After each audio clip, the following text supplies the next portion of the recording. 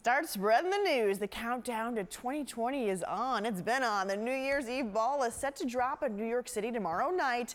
Check out this video tweeted out by Anthony Quintano. He works the closest camera to the actual ball drop, so he's giving us a little glimpse. Pretty amazing view of Times Square here, where an estimated 1 million people are expected to attend this event. The NYPD says there is no credible threat, but they are urging New Yorkers and visitors to remain vigilant.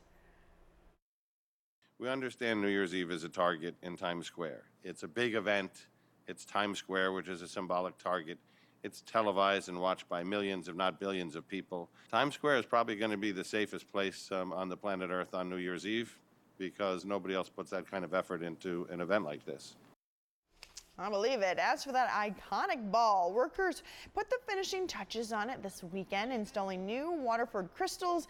In total, more than 2,600 crystal triangles make up the ball, which is 12 feet in diameter and weighs nearly 12,000 pounds. This year's design celebrates the gift of goodwill. Cannot wait to see it.